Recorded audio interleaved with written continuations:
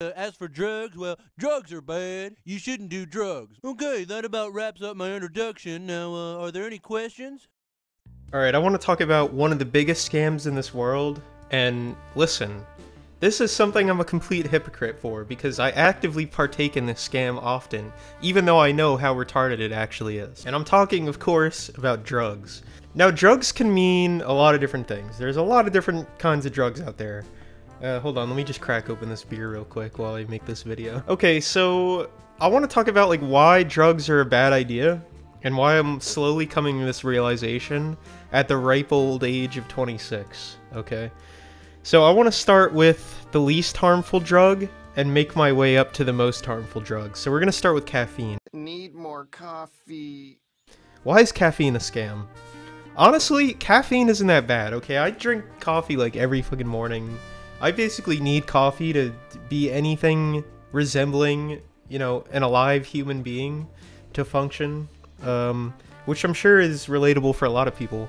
I don't think caffeine's all that bad, although caffeine, you know, it, it can do some things that are mildly annoying. It can stain your teeth.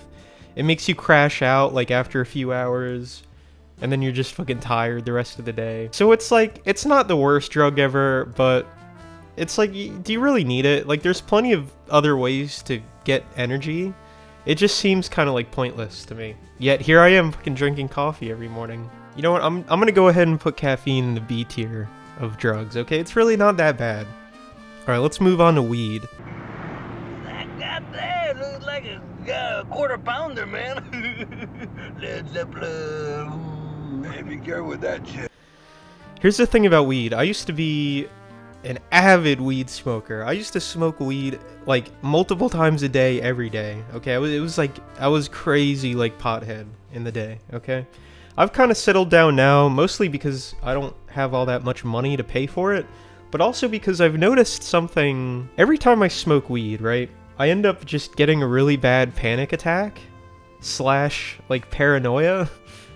And then, um, you know, that's like the first hour, and then the second hour, I just feel really calm and at peace, and I'm like, oh man, this is nice. So I always go back and buy more fucking weed just for that the the second hour, even though the first hour is so terrible. And I keep doing it. I'm like, why am I doing this? This is so fucking terrible. I don't know. Weed makes you do a lot of stupid things, man. You know, like it makes you feel like everybody's out to get you in a way. I remember I was really high one day, and I'm like, I need to delete all the videos off my channel. Somebody's gonna come kill me. Which, hey, you know what? Probably still gonna happen, but... Okay, next up we're gonna go to psychedelics. Mm. What are some golf shoes? Otherwise we'll never get out of this place alive. Impossible to walk in this muck.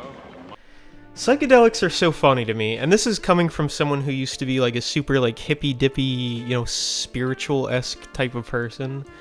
Um, what think about what psychedelics are?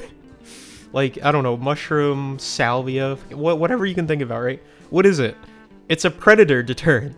It's literally something the plant, it's a chemical the plant produces to deter predators. And here we are, dumbass fucking humans, sitting here like recreationally taking this shit.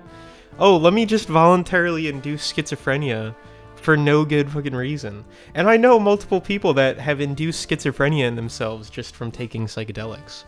I was talking to some guy the other day and he was telling me he took like eight tabs one day and has to, had to be hospitalized. I'm like, what the fuck? How is this fun? How is this fun at all? I don't understand.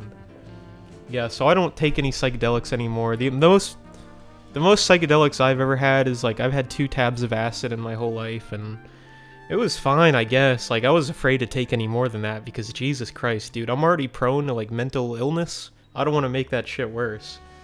Psychedelics are a fucking scam, dude. Okay, and, I, and you know what? I'm sick of all the uh, the spiritual shit attached to it because I used to be like that too. I'm like, oh, we're getting a a, a, a peek into a different realm. It's like, no, we're fucking not, dude. We're, it's literally just our brain producing fractals and hallucinations. Like, what the fuck are you talking about? There's nothing magical about psychedelics. It's literally just a fucking plant's like weapon arsenal. Like, what are you talking about, dude? Okay, um, alcohol.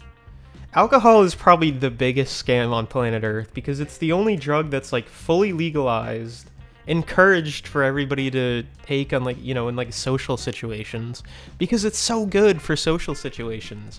If you're like a high inhibition person like I am, it'll completely, you will relinquish all of your anxiety. You will feel like you could conquer the world. You can act like an idiot in front of everybody and not care. It's fucking great, dude. I love alcohol. I'm drinking alcohol right now as I make this video. But it's so fucking terrible. Like, you're literally, you're just ingesting poison. Like, that's all it is. It's so bad. And it's just sold everywhere. I'm not to say we should have a prohibition or anything because we've seen how that turned out. I think all drugs should be legalized, to be honest with you. I think they should be legalized and regulated. But we'll see if that ever happens. But yeah, alcohol is no good, man. And I really need to stop drinking it myself. Okay, now we're gonna talk about like hard drugs, okay? I don't know, cocaine, heroin. I'm just lumping these all together. Fucking, like, horrible. Fucking terrible if you're at the point where you're, you know, you're uh, smoking meth for fun, it's oh, it's absolutely over for you. I mean, you're cooked, dude. That's fucking call it quits. Um, yeah, don't fuck with hard drugs. Don't ever fuck with hard drugs. Seriously, okay? And you know, I know it sounds cringy. Mm, drugs are bad, okay? But it's true. They're fucking terrible. They're so bad. I, you know, I can have some kind of nuanced take here and be like, oh, there's some good drugs, some bad drugs. You just gotta figure out what works for you, blah, blah, blah. No, uh, you know, fuck that, dude. I'm going Chad mode, alright? All drugs are garbage. Fuck them all. They're all terrible equally. And that's my message, okay? Take it or leave it. But anyways, yeah, so, uh, that's about it.